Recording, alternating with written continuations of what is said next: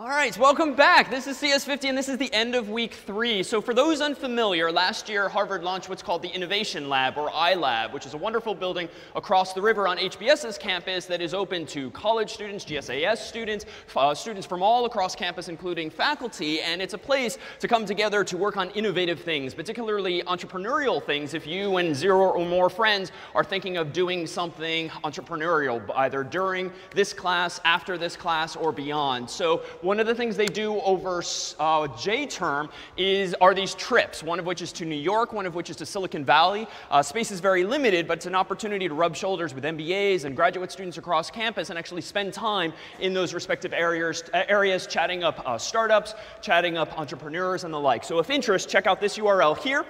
It is also available on the slides online. Could we um, tone down the house audio just a little bit?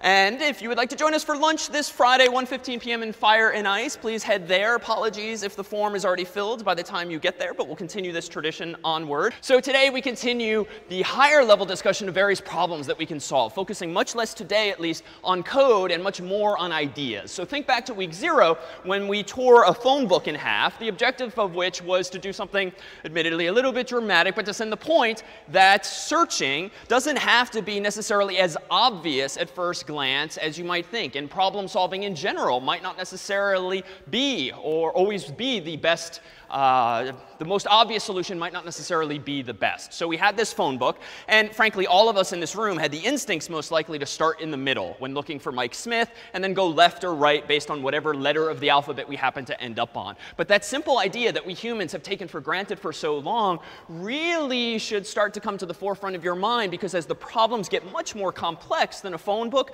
those same simple, brilliant insights are what are going to allow us to solve much more complicated, more interesting problems among them, some of the things we take for granted already these days. Billions of web pages out there, and yet Google and Bing and the like are able to find things for us like that. That's not happening by using a linear search, searching through all possible web pages. Facebook is able to tell you who all of your friends are, or friends of friends, and that too can be done seemingly in an instant these days, even though they have millions of users. And so how we actually solve problems on that scale will ultimately reduce to the ideas we looked at in week zero and a bit more today. Now, we won't re-execute this algorithm, but recall we also did in week zero this exercise where we had everyone stand up, take on the number one, and then we had everyone self count by pairing off, adding your numbers together. Then half of the gang sat down on every iteration. So we went from like uh, 500 students to 250 to 125 and so forth. But as we said on Monday, the powerful idea there was that if we doubled the size of that problem and all the kids from Justice or EC10 came back into the room and joined us, well, we could probably count that whole aggregate group with just one more big iteration of the loop because they would only maybe double the size, or in EC10's case, a bit more than double the size. And so we would have to spend a little bit more time, but we wouldn't have to spend 400 or 700 more steps. Just to paint this picture in a way that's a little less abstract, let's not have everyone stand up, but if those of you who uh, chose to sit in the orchestra today wouldn't mind standing up, let's see if we can figure out among you who the tallest person is by doing the same sort of comparative algorithm. So if you're sitting in the orchestra, my apologies, uh, but step one, stand up. Step two, pair off with anyone nearby you. Figure out who is taller, and sit down if you are shorter. Then repeat.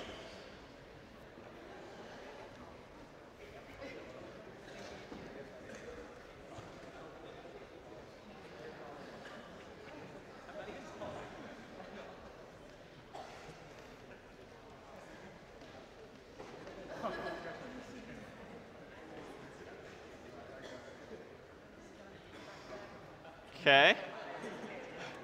OK. One, one is left standing. What's your name?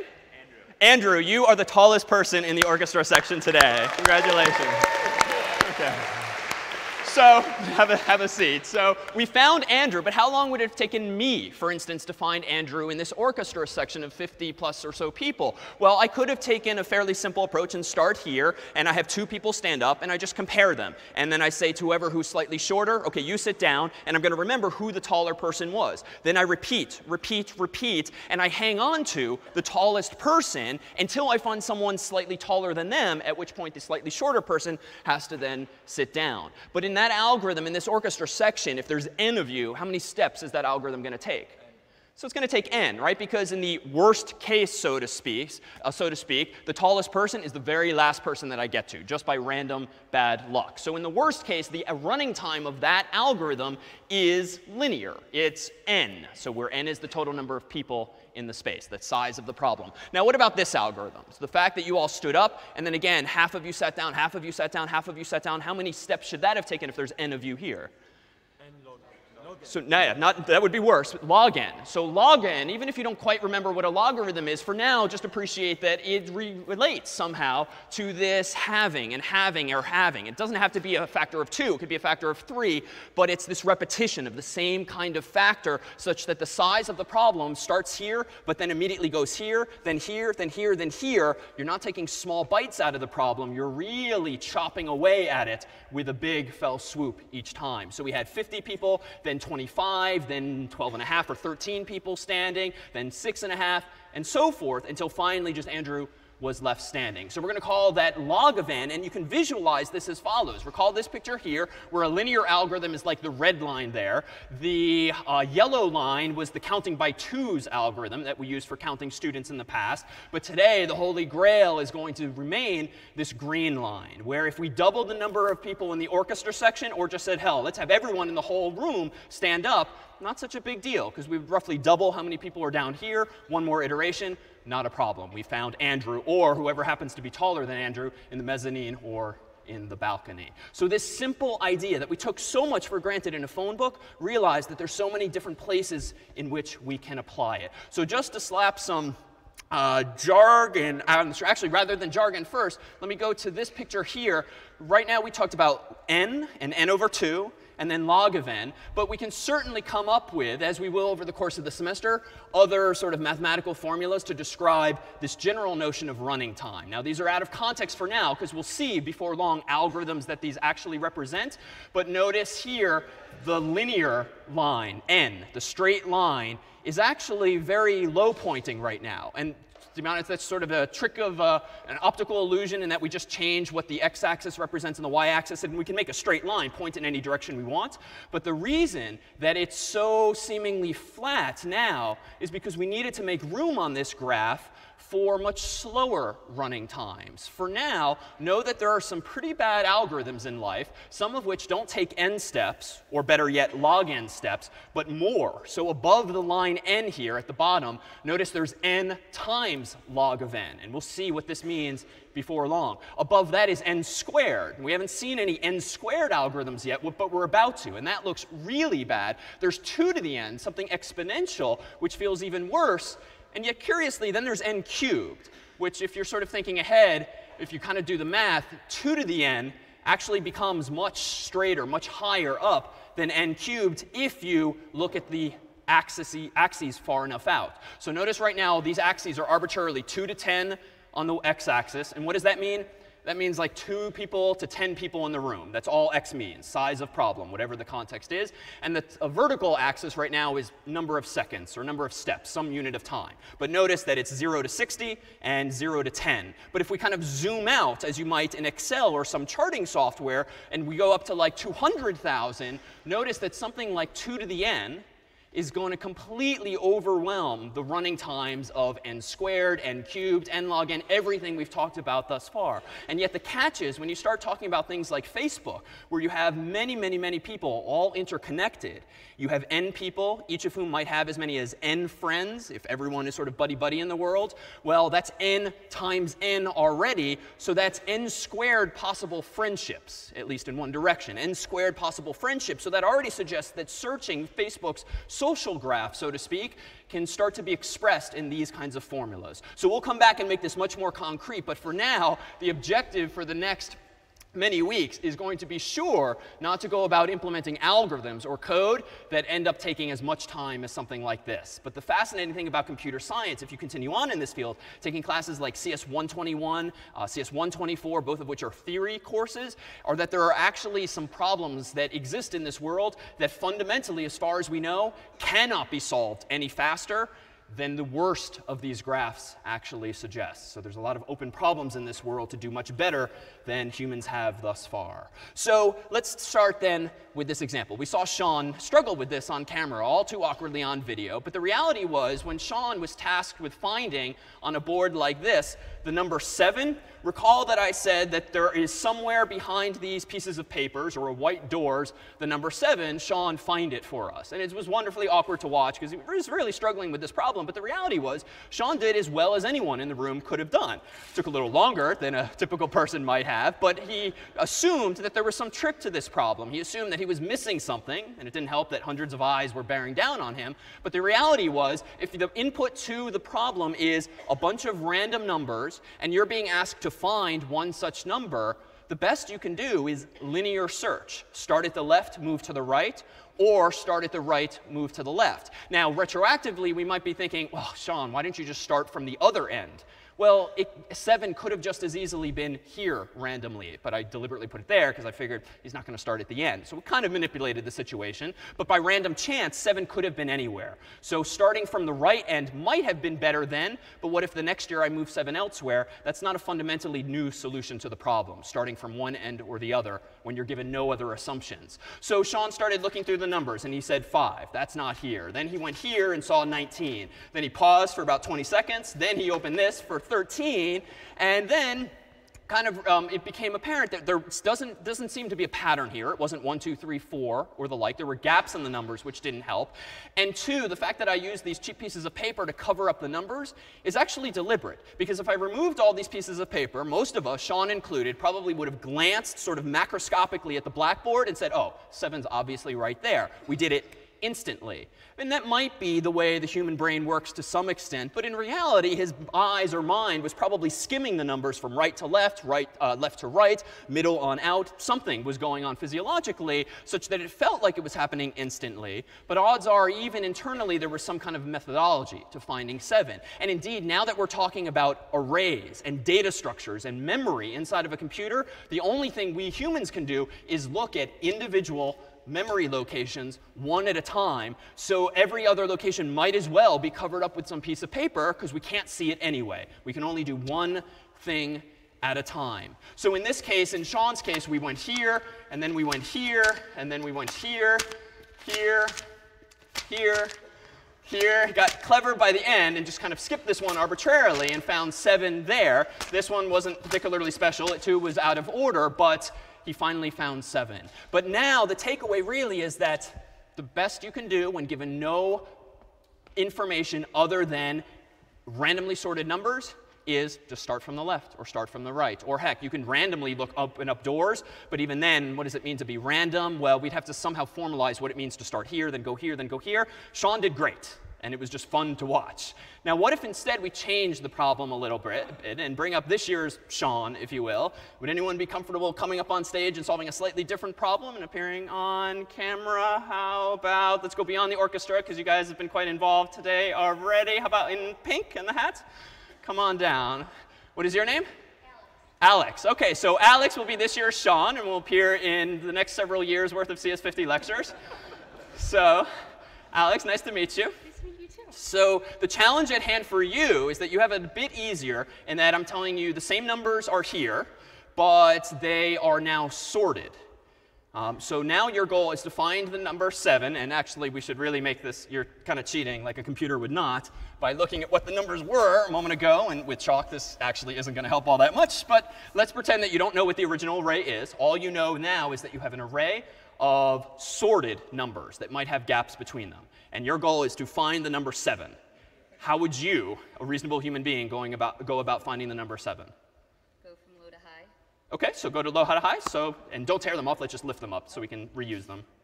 OK, so 1. OK, so wait, before you keep going, that was 1. Clearly wrong. So what's, what's going through your mind next? What's your next move? Next one. OK, so the next one. Good. 3, so incorrect. What's your next move? Keep on going. All right, keep on going. Five, so keep on going, and let me hand you this for posterity. Seven. Excellent, very good. Found the number seven.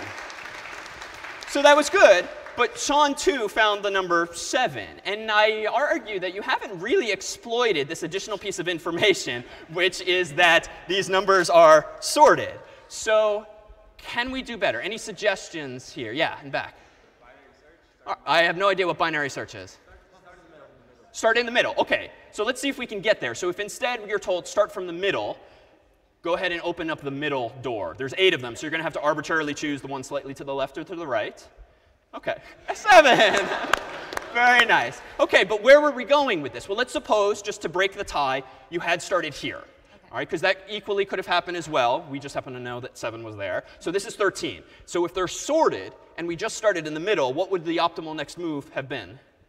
Go to the left, right? And so here comes the phone book example again. If 13 is here and we know the list is sorted, then all of these pieces of paper are in, uninteresting to us now because we already know that 7 must be to the left if these numbers are sorted and we found 13. So what's your next move here? Go to the left. OK, good. So go to the left. And wait, hey, hey, hey, hey that's cheating. So that's OK. So you found 7. But what was the algorithm we just applied? Start in the middle. Good. So what's the logical extension of that oh, same idea? just these. So exactly. here. Good. So now we went slightly to the left again. It's 3. But the interesting takeaway now is which one do you not have to care about? two. These two. So now this one can go away, this one can go away. Now the problem that was 8, then was size 4, now is size 2, we're getting pretty close. Again, go to the middle of these two elements. OK, so it's sort of unfortunate that now we're always going left because we're rounding down. But that's fine, because now we throw this away and everything else, okay. leaving us with just 7. Now, let's give a round of applause. We found 7 again. OK, sure. So hang out for just one more second. So even though that next process kind of took a little longer than it felt it would. Frankly, your first instincts were the best, right? We found 7 instantaneously. But we would have found 7 faster no matter what in this example versus this one. Because if the numbers are all sorted, much like the pages in a phone book, you can indeed chop half of the problem out again and again and again. And it's not quite as easy to see this with just eight numbers as opposed to a 1,000-page phone book where you really see it visually. But in this case here, when Sean was searching for 7, how many steps in the worst case would it have taken him? So seven, right? In the worst case, well, in the worst case, not seven, if there's eight doors here, it would have taken him eight steps. So if there's n doors, might have taken Sean a couple years ago n steps. Now, in your case, Alex, given that these numbers are sorted, and we can kind of infer this from where we've been thus far in this story, what's the running time of Alex's more intelligent algorithm of starting from the middle and then repeating? So it's going to be 3, roughly. If you go from 8 to 4 to 2 to 1. So three steps, or more generally, that's log n again. Anytime you're having and having and having and having, that's an expression of this idea of log n. And so that would have taken you only three steps. And indeed, it did once we opened the doors having and having, whereas this would have taken Sean some seven or eight steps. So thank you for being with us this year. Nice thank you to Alex. Likewise. So what's then the real implication of this? Well, now imagine that it's not eight doors, which, eh, frankly, all of us could find something behind eight doors pretty quickly just by tearing the pieces of paper and you know, going with our instincts. But what if it's a million doors? What if it's four billion doors? Well, in the case of four billion doors, you're really going to want to go with Alex's algorithm, binary search, as we'll start calling it, or divide and conquer more generally, where you keep having and having the problem. Because if you have 4 billion doors, how many times can you chop 4 billion in half?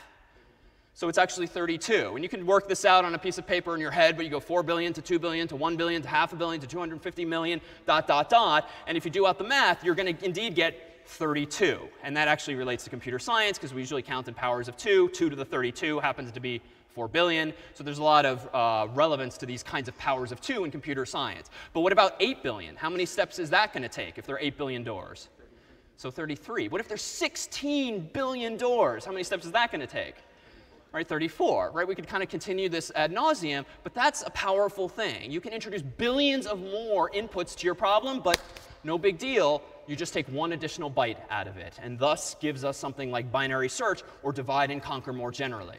But I'm kind of cheating here, right? So in the case of Alex's algorithm, she had an advantage over Sean. She knew that these numbers were sorted, but Alex did not have to sort them herself, right? I, in advance, came up to the blackboard and kind of made sure that I drew them all out in sorted order. Then I covered them with paper. But how much work did that take me? If we had started off with these numbers in some seemingly random order, in this case, these simpler numbers, 1 through 8 here, how do we go about sorting these values? Well, if you were a human given this task, what kind of intuitive approach would you take to sorting a whole bunch of numbers? These things were laid out as like puzzle pieces. Yeah. Uh, take each number and compare each, each one and keep going to the left. OK, good. So take each number, compare it to, next, to the one next to it, and then just keep moving along the list, kind of rejiggering things as you go. So here we have a chance for uh, maybe a few more folks to get involved. Um, do we have eight more volunteers who would love to come up? A little less pressure since you're not the only one. One, two, three, uh, four, five, six, seven, eight. Come on down. You guys are going to be the numbers 1 through 8. And let's see if we can't do this sorting for Alex, much in the same way I did it in advance. One, two, three, four. Go ahead and if you would, line up on stage between the music stand and me here in the same order as the slide on the screen. Uh-oh. Uh, we'll work you into the next example. Oh, oh, wait, wait. No, here we go. Wait. The next example is now. There you go. Number 8. Come on up. All right, so sort yourselves according to this. Um, and slide just a little bit to the side of the music stand here. So we have four, two, six. Get in there. Over here. OK, right there. Three. Uh, right. Uh, oh, yep. OK. OK, you go over here. Hey, no, you stay there. No, you're right there. No, I'm wrong. Right there. OK, very good. OK, so now let's sort them uh, in an increasing order. So how can I go about doing this? Well, the algorithm that was proposed a moment ago is why don't we just compare the folks who are kind of next to each other and then fix any mistakes moving from left to right. So here we have 4 and 2, obviously out of order. Let's swap you. OK, so now I'm going to move down the line. 4 and 6. Look, no. no. 6 and 8, pretty good.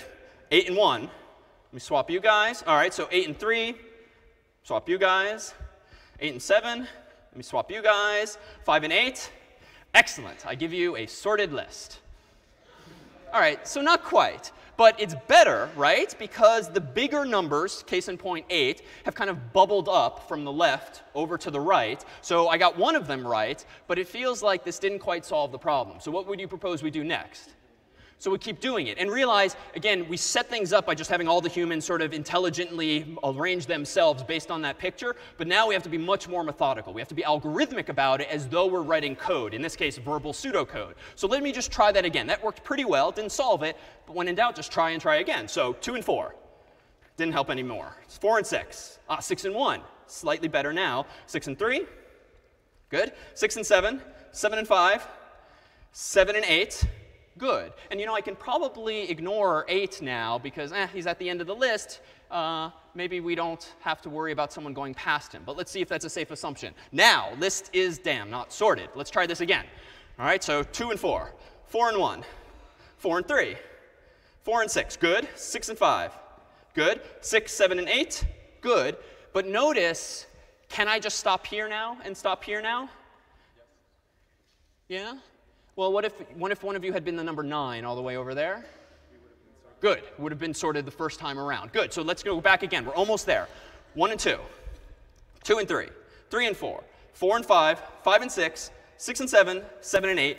I am done now, but again, I'm a computer that can only do what I'm told to do. And my only recollection now is that I actually just did a bit of work. Something changed here. So I haven't technically confirmed visually or algorithmically that this list is indeed sorted. So just for good measure, just to be anal about this, let's do this one more time.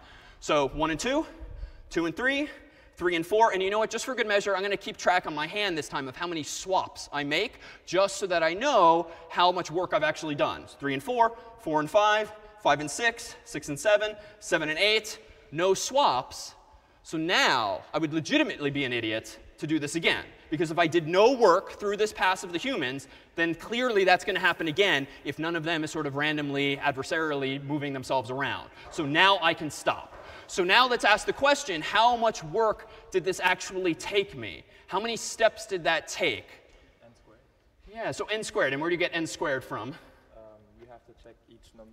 There's n numbers, and you have to check each each number with the other n numbers. Good. So it's like n squared. Good. So it feels like it could very well be n squared, right? There's n of these guys, 8 specifically in this case. But every time I went through this list, I was comparing the first person against the second, the second against the third, again and again and again. And when I got to the end, what did I do?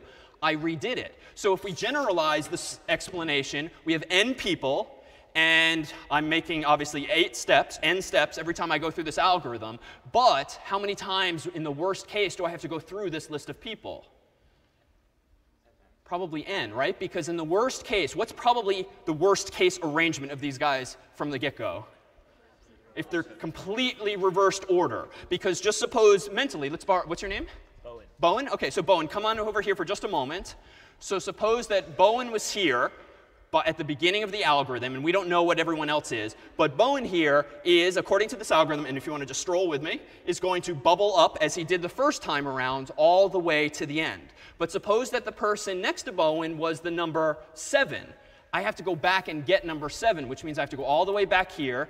Now I have to have that same stroll with the person who's number 7. But what if the number 6 was next to him as well. I have to go back and get 6. So again, on every iteration of this loop, I'm talking to each of the n people, and I might have to make n of these strolls to make sure I'm pulling all of the biggest elements back and back and back to the very end of the list. So n things, n times, is just n times n, or n squared. So here already we have an algorithm that's no longer n, that's no longer log n. It's actually worse than anything we've done before. So Alex kind of got lucky in that I did all of the work apparently up front for her, all the expensive work, so that she could enjoy in this binary search algorithm, which is log event. But this is consistent with Monday's theme. We gave a little bit more space. We used more bits in order to speed up our running time. So much like there's this trade-off between time and space, there might also just be trade-offs between time spent up front, sort of getting things ready to go, and actually executing an algorithm like search. Well, let's try another one. If you guys wouldn't mind just uh, quickly rearranging yourselves to match that again.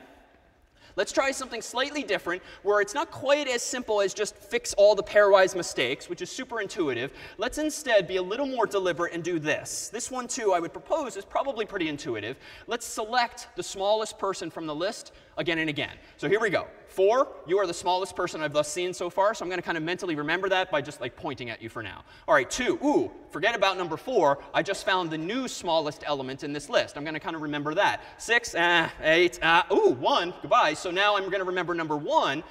Now, we know that 1 is the smallest, but I'm the computer. What if there's a 0? What if there's a negative 1? I have to keep going. So 3, 7, 5, nope. OK, so number 1 was the smallest. So let me select you from the list. OK, we'll go this way. And put you at arbitrarily at the beginning of the list. Now, wait a minute. Kind of cheated. If these guys represent not a list of 8 people, but an array, eight chunks of contiguous memory. Do you mind stepping back for just a moment? There's actually no space for you right here. So how do we make space for, what's your name?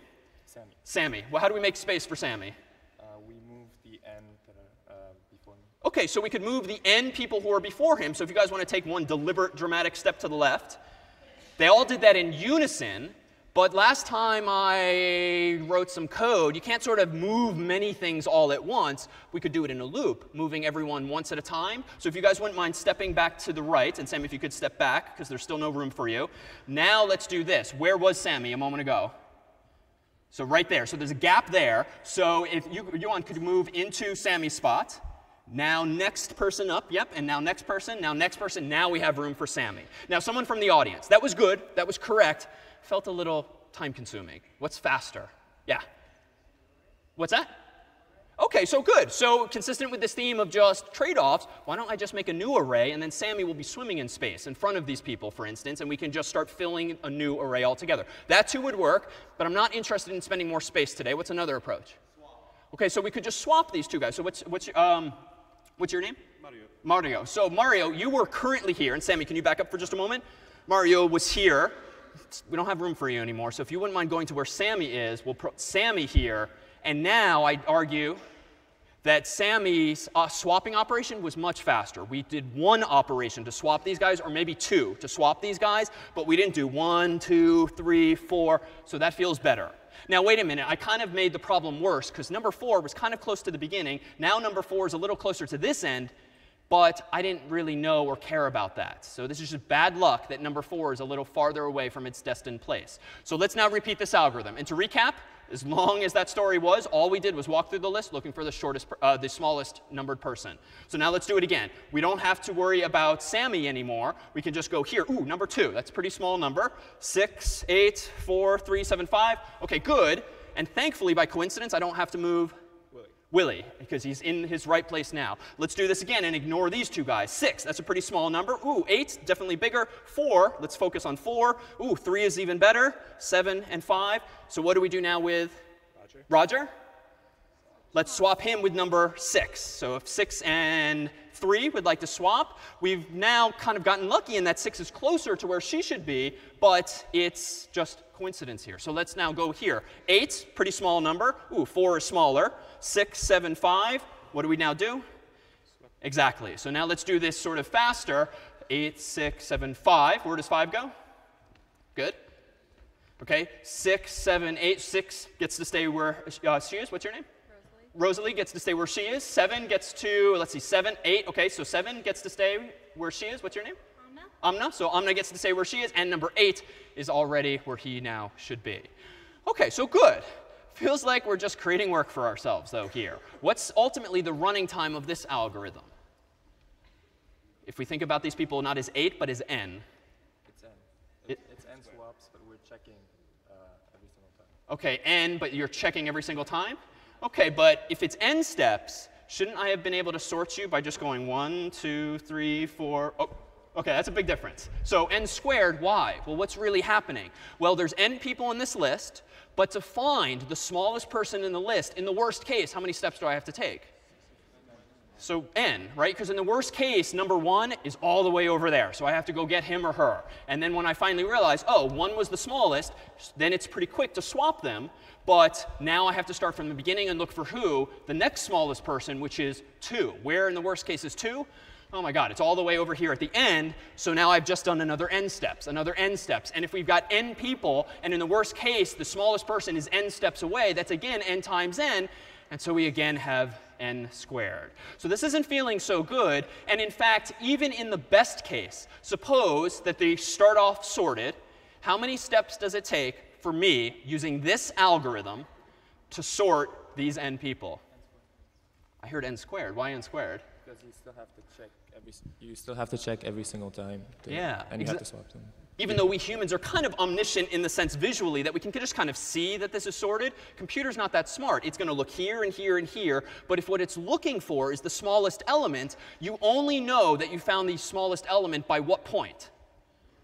Once you're at the end. But at that point, you've only found the currently smallest element. You don't necessarily know anything else about the state of the world. So you have to go again and again and again. So this time, I really do look dumb because I'm checking, OK, 2, you're the smallest. But I don't know that in total yet. Three, four, five, six, seven, eight. OK, good. 2 was indeed the smallest. Now let's find the next smallest. OK, 3, you're currently the smallest. Let's see, four, five, six, seven, eight. OK, got lucky again. 3 was indeed in the right place. But I'm going to keep doing this again and again and again. So how can we do ever so slightly better? Well, instead of having people bubble up pairwise from smallest to largest, instead of going back and forth through the list selecting the then smallest person, why don't we instead insert these people into a new list step by step. And let's try this. Now let me call this thing insertion sort. So here we are here. Number one, I don't care about anyone else in this list. My goal right now is to put number one at the beginning of a sorted list. And I'm going to propose, since I only have eight chunks of memory, arbitrarily right now, I am the wall between my supposedly unsorted list and anyone who's behind me is going to, I'm going to claim is sorted. So now we have number one. I want to insert him into my sorted list. So I'm just going to move my wall over here. And now I claim this list is sorted. This list is unsorted, at least so far as I know. I can't see all the numbers at once. Now I happen to encounter number two. What do I do with him? So I insert you now into the sorted list, but notice how easy that was. I just have to look. Number one is there. Oh, obviously two goes to the side of number 1. Now what do I do with 3? I insert you into the sorted list, but that was super easy. This was super easy. This is super easy. This is super easy, super easy, super easy. And now everything is sorted behind me. And how many steps did that take? So it's only n. Now we got lucky. It was only ny. The list is already sorted. So we got lucky but we chose an algorithm. We designed an algorithm this time that harnesses that kind of luck, that best case scenario, by not wasting unnecessary time. So we now have what we'll call bubble sorts, where people kind of bubble up pairwise. We now have selection sort, where we pluck out the smallest person again and again. And now we have insertion sort, where we sort of proactively put people where they belong in an increasingly sorted list. Uh, if we could, a round of applause for these guys here. Let's go ahead Let's take our five minute break here, and when we come back, we will blow all of these algorithms out of the water with something better. All right, thanks very much. You can keep those as souvenirs. All right, so we are back, and to recap real fast, we had these three different approaches to sorting, the whole point of which was to get to the point where someone like Alex could search a list of numbers quicker than someone like Sean could. And even though we have such simple examples with eight numbers, you can extrapolate easily to eight web pages, 8 billion web pages, or 800 million friends on Facebook. So these algorithms can certainly scale to those kinds of values, and the ideas are ultimately the same. So bubble sort was the first, where we kind of bubbled up the biggest person all the way to the right by swapping people pairwise. Then we had what we'll call selection sort, where I a little more deliberately kept looking through the list, selecting the smallest number again and again and again, the logical result of which is that the list is eventually sorted. Then in the third one, I inserted people into their appropriate place, and we did a very contrived example in that the list was already sorted, but that was to send the message that in insertion sort's case, you, get, you can get lucky. If the numbers are already sorted, it's only going to take you n steps to confirm as much, whereas selection sort, you're a little more tunnel vision and you don't ever realize that the list is already sorted. So let's see bubble sort in action here. So in the following example, we're about to see vertical bars whose heights represent numbers so that we can sort of visualize sorting happen. The smaller the bar, the smaller the number. The bigger the bar, the bigger the number. And we'll play it at this default speed. So it's going to move a little fast for now, but red is what's showing two bars being compared side by side. And if you watch closely, what happens is that if the bars are out of order, the smaller one gets moved to the left, the bigger one to the right, and then you keep advancing. So if we do this again and again, notice that the smallest bars are going to keep inching their way to the left, and the biggest bars are going to keep inching their way to the right. And indeed, we're starting to see a pattern all the way on the right-hand side, just like we saw 8 and then 7, eventually bubbling up to the far end of our human list. So this is going to very quickly get a bit tedious. So let me stop this for a moment. Let me change the speed to be much faster. So I'm not changing the algorithm, I'm just making the animation fa happen faster. So now, still bubble sort, same algorithm, but now you can see much faster than our verbal demonstration that the biggest elements are indeed bubbling up to the top. As an aside, these little squares at the bottom left and bottom right, these are just little um, reminders as to how many comparisons you're doing. But for now, we can focus on the pyramid that's taking shape. And there it goes. The smallest elements on the left, the biggest on the right, and everything else in between. Now let's instead take a look at selection sort. I'm going to go ahead and hit stop. We're going to get a new random set of bars. Selection sort, recall, goes through the list again and again and again, plucking out the smallest element.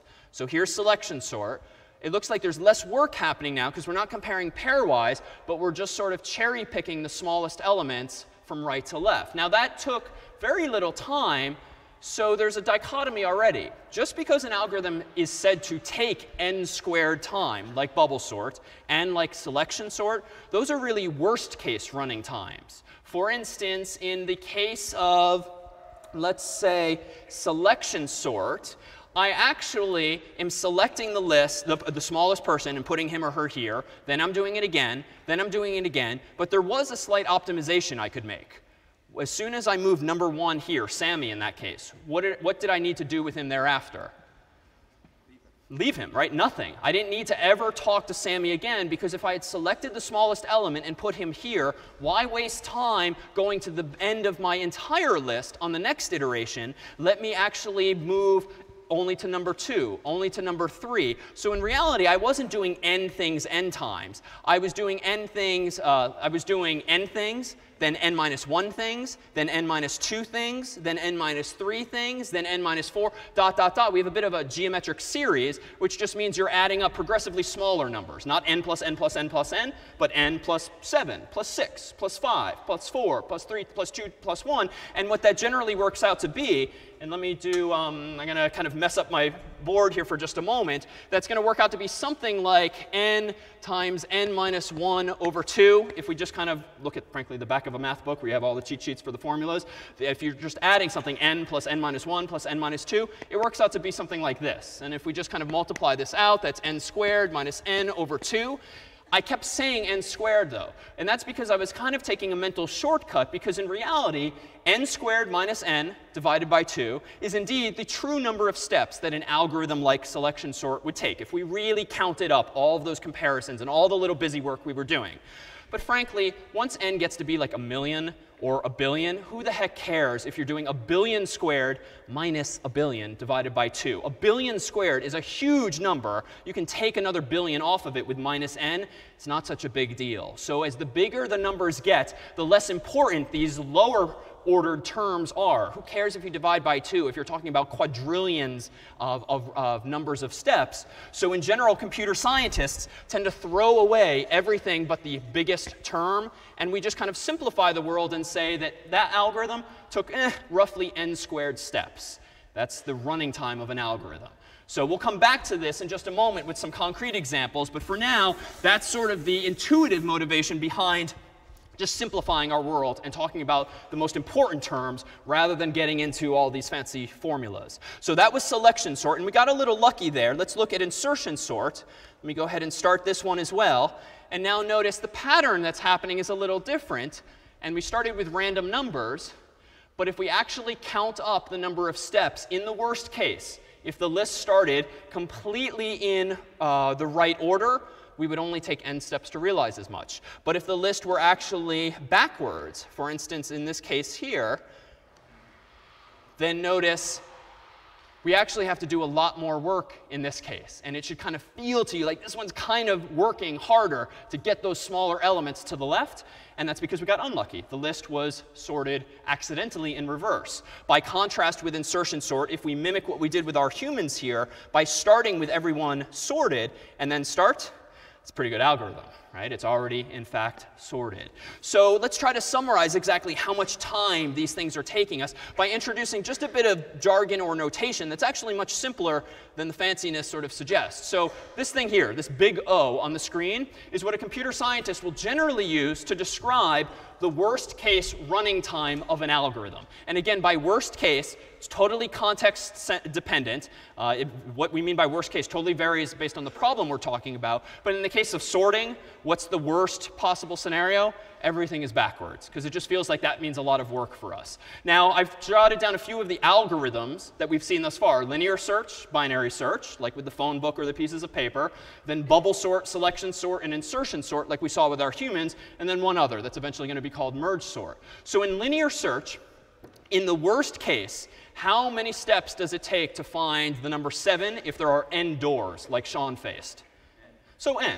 So we're going to write big O of n. So I'm just going to fill in some blanks. This is just a grid of blanks. But in the best case with linear search, 7 might have been at the very start of the list, and Sean might have started looking at the start of the list. So if you're using linear search and just checking left to right or maybe right to left, they're equivalent, in the best case, how many steps might linear search, like Sean's algorithm, take? Just one step. So I'm going to say that the omega notation, this is just uh, capital omega, omega is just the sexy way of saying best case running time. So in the best case, the running time is a single step or constant number of steps, one in this case. But in the worst case, big O, it is actually n steps. And this one here, theta, we're actually not going to look at right now it's not relevant to this particular example. But now let's try binary search. In the worst case with binary search, how many steps is it going to take to find the number 7 or whatever we're looking for? Still going to take log n, because just like Alex got unlucky when we really worked through the problem methodically, and she didn't find the number 7 until the very last door she looked at, even though, in fairness, she got to throw away certain doors along the way, binary search in the uh, worst case is, has a running time of log n. And again, that speaks to this dividing and conquering. But what about in the best case? And Alex actually experienced that best case right when she came up on stage. How many steps did that take in binary search? One, just because she got lucky. But that's fine because omega refers to best case scenarios, best case inputs, even if it's just random dumb luck. Now, this too, we're going to just kind of leave blank for now. How about now bubble sort? So in the worst case with bubble sort, everyone is in reverse order, so we have to do a lot of bubbling. But how many steps is that going to take in the worst case? So this was the n squared, because if you think about it, if the list is completely backwards, 8 is over here, 1 is over here, as things start to bubble, the number 8 is going to move this way, this way, this way, this way, but where's the number 7 in the worst case? He or she is still over there, so we have to do it again and again. And that's where we get n steps, then n minus 1 steps, then n minus 2 steps. And if you take my word for it, that if you kind of multiply it out, it's roughly n squared in the end, with some other terms that we'll just ignore for now. Then in the worst case, bubble sort is n squared, give or take. But what about the best case with bubble sort? What is the best case scenario? Well, all of the numbers are sorted already. And what was the heuristic I used, the trick I used to realize that I had done no work and could therefore stop early? Check it once, but what was I doing along the way? I was keeping track of how many swaps I made. And I realized if I haven't counted any swaps on my fingers, then I've done no work. I certainly shouldn't try to do no work again, so I can just stop. So in the best case of bubble sort, when the list is already sorted, what would you say the omega notation is, the best case running time? It's just n. We can't, we have to do some work, but we only have to do one stroll's worth of work. And here too, I'm going to leave this part blank. And now selection sort. Selection sort had me plucking the smallest person again and again. And what did we say the running time of that was? So that was n squared in the worst case. And unfortunately, in the best case, it's also n squared because I don't have this sort of omniscient view of the whole uh, world. I only know upon a full iteration that I've indeed found the smallest person. So selection sort kind of sucks in that sense. But upside is it's kind of intuitive. It's pretty easy to code up because all you have to do is write a couple of nested for loops typically that goes through looking for the smallest element and then puts the smallest element where it belongs at the end of the list. So here too, there's going to be a trade-off. The amount of time it takes you to think and to actually develop something by writing code could very well take more time if you want a better algorithm and faster performance. But if you really just kind of code something up quick and dirty and just kind of take the stupidest possible idea you can think of, that might take you a few minutes to code. But with large data sets, your algorithm might take hours to run. And even I in graduate school would sometimes make these trade-offs. It'd be like 3 a.m. I was trying to analyze some very large data set related to the security research I was doing. And it was either spend five minutes tweaking my program to analyze the data and go to sleep, or spend eight hours getting it just right so it runs instantly and not go to sleep. And so there, too, is kind of a conscious decision. Less development time, more sleep. Um, but this is, in retrospect, probably shouldn't encourage that when the goal here is to uh, optimize the quality of the code. But that, too, in the real world, is a very reasonable trade-off. Less time, less uh, performance, or vice versa. So here, we finally get a chance to talk about theta. Theta notation is something a computer scientist can come uh, can bring up in conversation when big O and omega happen to be the same. You say theta to really send the message that this is kind of a tight bound. No matter whether the scenario is good or bad, it's n squared. So it's just not relevant in these stories here. Now insertion sort is the last one we looked at where I was just inserting everyone into the right place. In the best case, what was the running time of insertion sorts as we saw it here? The best case.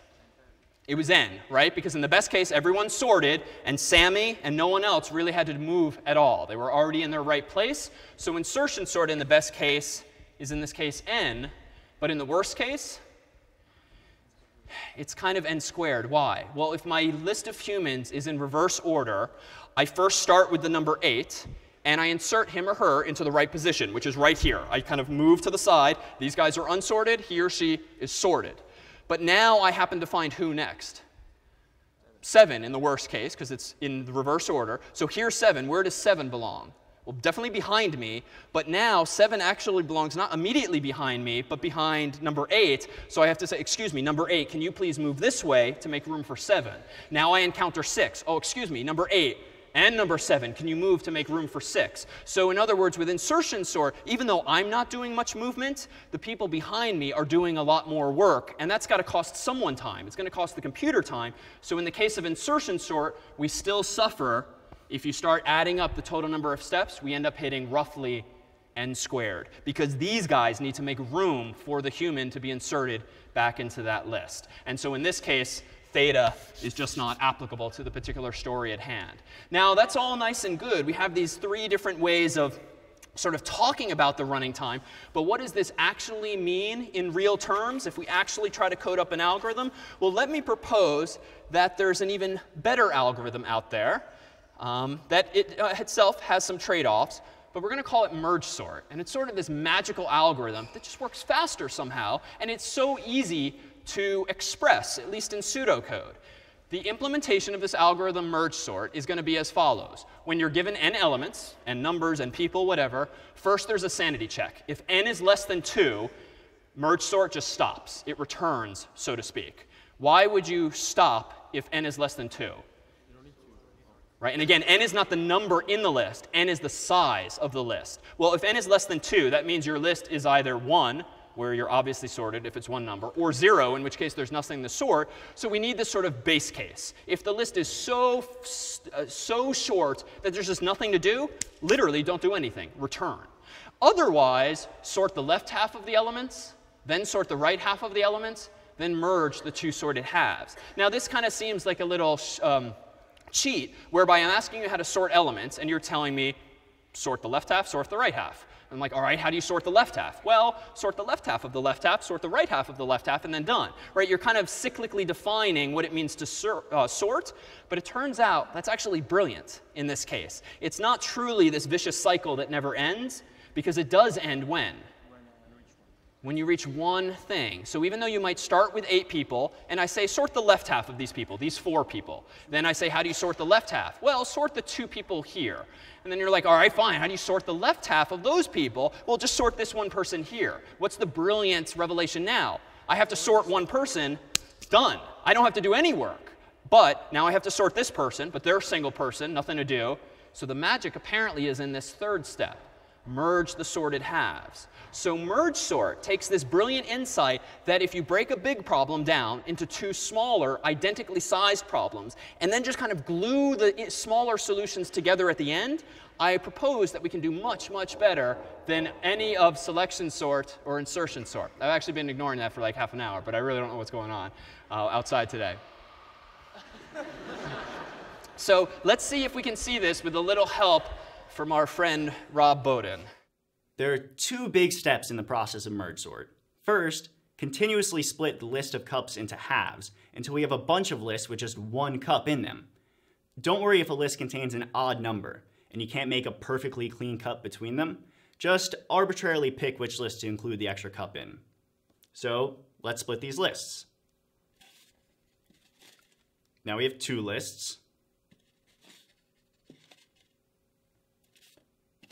Now we have four lists.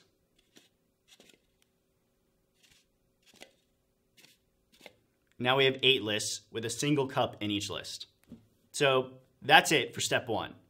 For step two, we repeatedly merge pairs of lists using the merge algorithm we learned before. Merging 108 and 15, we end up with the list 15, 108. Merging 50 and 4, we end up with 4, 50. Merging 8 and 42, we end up with 8, 42. And merging 23 and 16, we end up with 16, 23. Now all our lists are of size 2. Notice that each of the four lists is sorted. So we can start merging pairs of lists again. Merging 15 and 108 and 4 and 50 you first take the 4, then the 15, then the 50, then the 108. Merging 842 and 1623, we first take the 8, then the 16, then the 23, then the 42.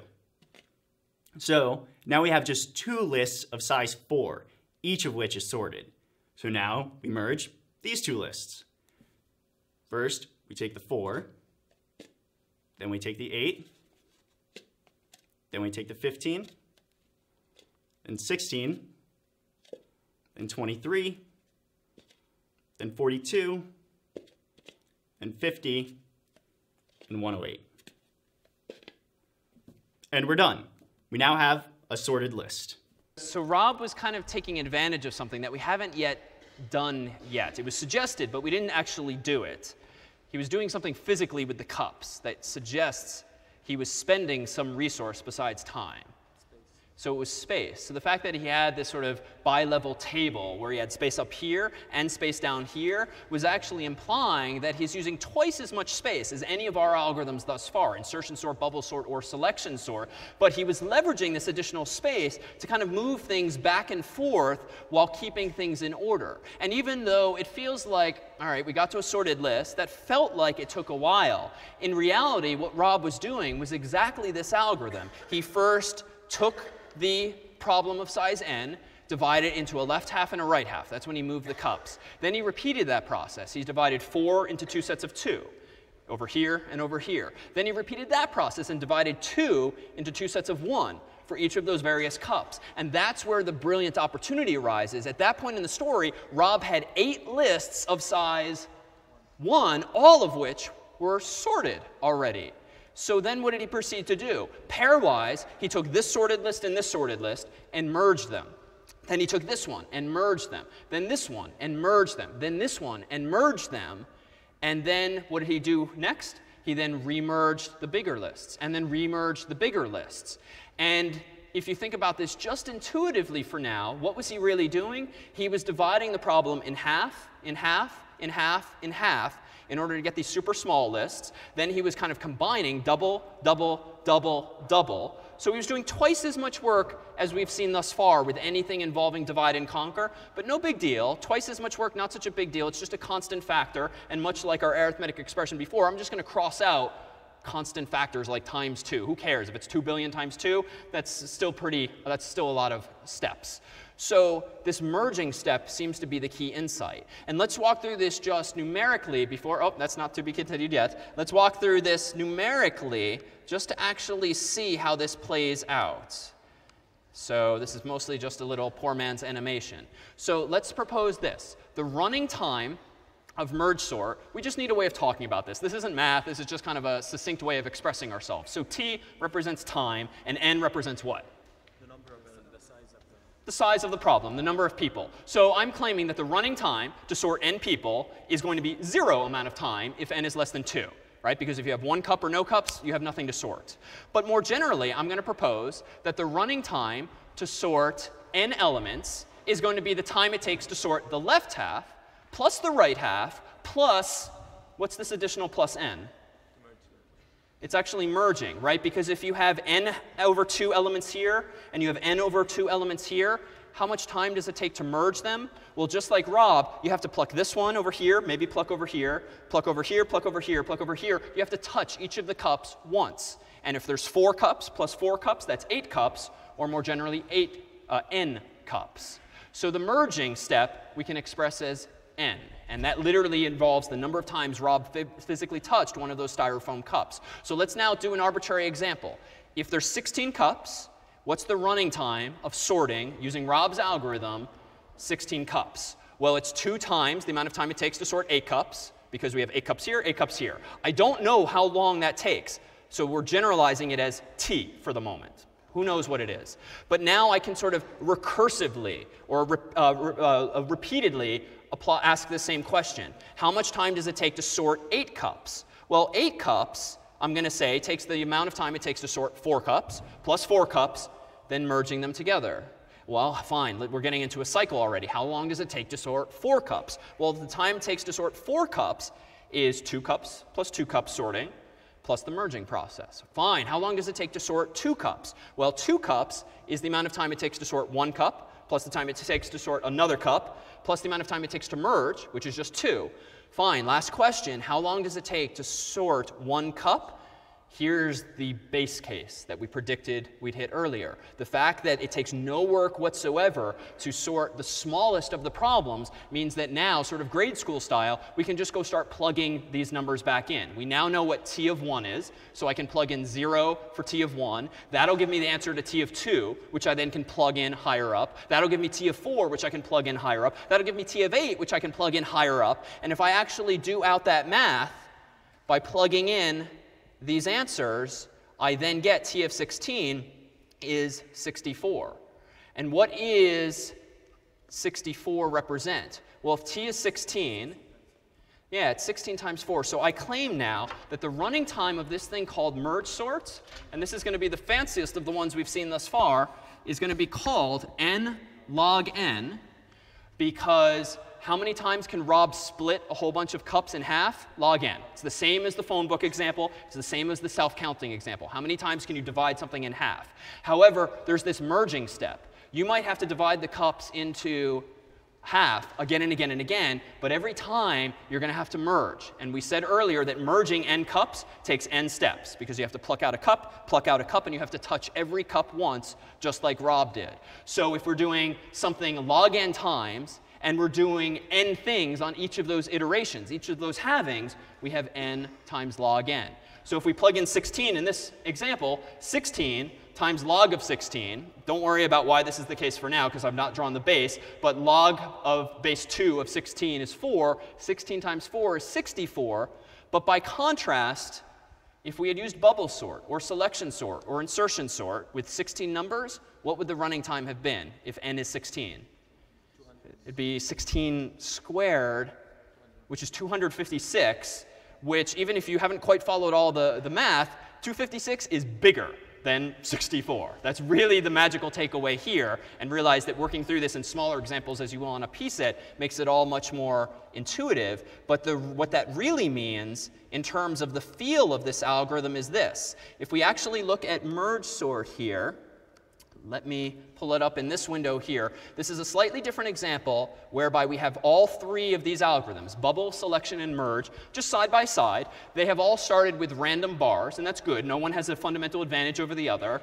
And I'm going to, in a moment, click each of these animations, start, start, start, as fast as I can so that roughly they all start at the same time. And let's consider that bubble sort's worst case running time is what? n squared.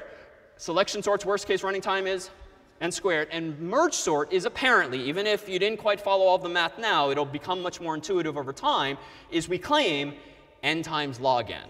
And because log n is strictly less than n, once we have big numbers, n times log n is smaller than n times n, or n squared. So what does it feel to actually be a better algorithm in terms of running time, n log n times uh, as opposed to n squared? Here we go. Click, click, click.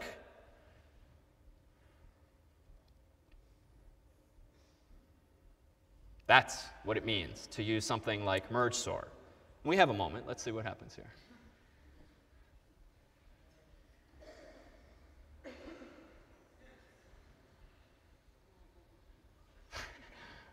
Whose money's on bubble sort? It rather depends on the input sometimes. Let's see. Come on. Feels like he's catching up.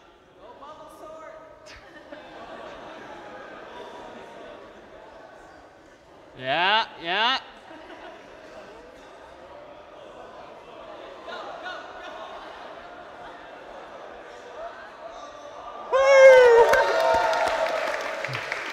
So now with one last final demo, if you have, if it's kind of a little tricky to wrap your mind around the math or sort of the visualization there, you can actually hear the speeds of different algorithms differently. This is an animation someone made that actually associates sounds with the process of swapping and the height of the bars. So as we'll see here, there's a few more sorting algorithms out there that folks have thought of. This first one's going to be insertion sort, and this will fly through and give you an audible sense of how these various algorithms work. Here is insertion sort.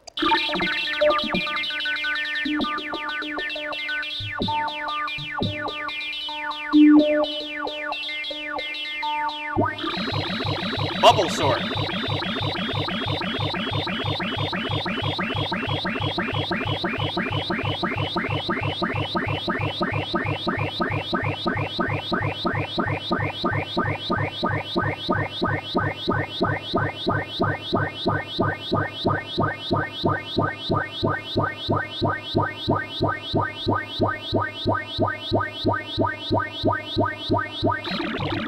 Selection sort.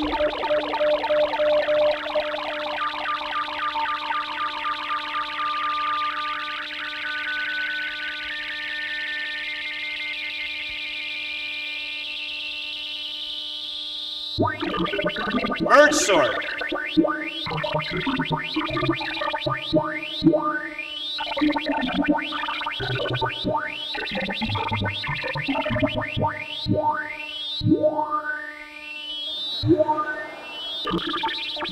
Gnome sorts.